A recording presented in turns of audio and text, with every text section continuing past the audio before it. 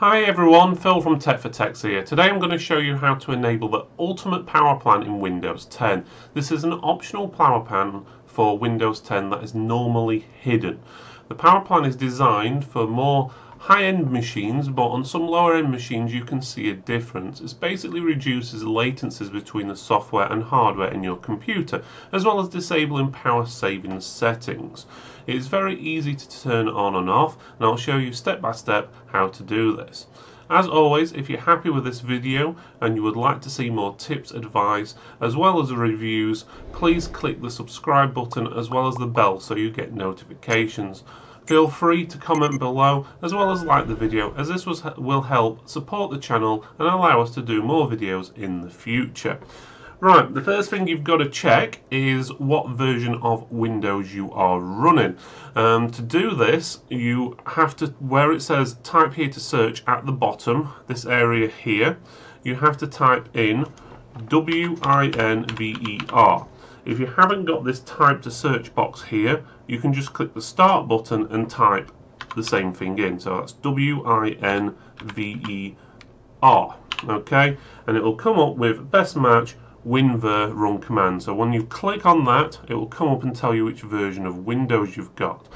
Now you need to have Windows version 1803, so that's 1803 or higher. So if you've got 1809, that's fine. You've got 2004, that's fine. Or anything higher. So you need to make sure you've got 1803 or higher for this to work. If not, you will need to update Windows. Okay, to update Windows, you just press OK, obviously to close that. To update Windows, you click the Start button. Then you click the Settings button, which looks like a cog so you click on that one there.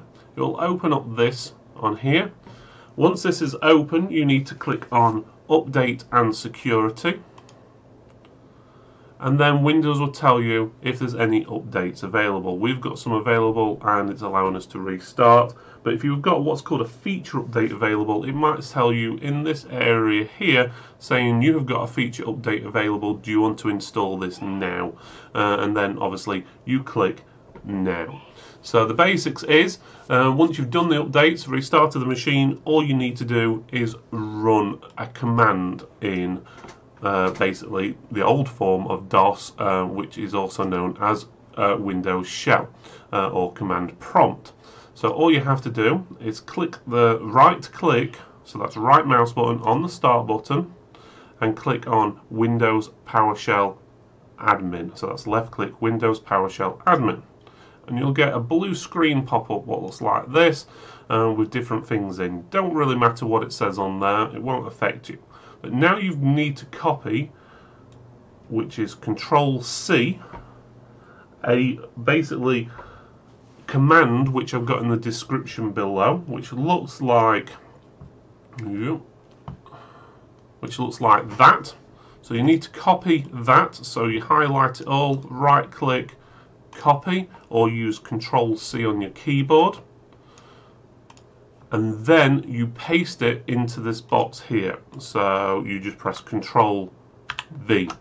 And as you can see it's there. It comes up in different colors. And then you press your enter key on your keyboard. So well, that's also known as return for some people. So again you copy that code and paste it into that box using control C to copy control V to paste uh, and then press enter and then it'll say power scheme and ultimate performance and that's it. You close that box and now you restart your machine. So you go to the power button click power. Now you don't click shutdown you press restart. So make sure it's restart because shutdown on Windows 10 depending on how you've got it set up doesn't always make it take effect Now your computer's restarted and come back on, we now need to enable the power mode because the command you just did was basically add the feature into Windows. Now we're going to switch it on. To do that, you just click on your start button at the bottom left, click on the cog again to go into settings. This used to be known as control panel many years ago. You can still get into the old control panel, but this is the best way of doing it on Windows 10. So once you've gone on to settings, you need to click on where it says system Once it's on there, you'll see lots of different options down the left hand side. The one you want is power and sleep. Once power and sleep has come on, you'll come to see lots of different options, but on that screen somewhere you'll see additional power settings. And depending on how you've got your screen set up, it may be lower down, so you may have to scroll down, or it might be on the right hand side. So just click additional power settings. Once you've done this, you'll then see that you're probably on the balance, which is recommended power plan. Uh, you could be on the power save and you'll also see listed is ultimate performance which was not there before if you don't see it listed there you have to click this little arrow next to where it says show additional plans and then it will show you different ones um, because I've set this up a few times obviously to record this it's showing the same thing a few times but generally you should only have it shown once. So basically, to enable it, you just tick the box what says Ultimate Performance. And that's it. You have now got Ultimate Performance on your computer. Bear in mind, it may not take effect until you restart your computer.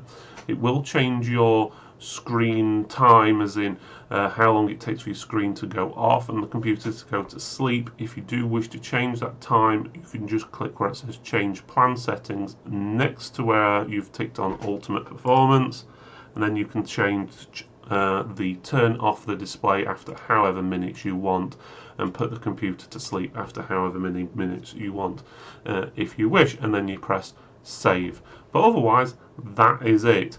So uh, all, all being well you should be all up and running. If you do have any questions please put them in the comment section below. Feel free to subscribe and like the video. Uh, remember if you do subscribe you'll be able to see notifications when we put new tips advice news and review up. Thank you for watching everyone and i'll see you next time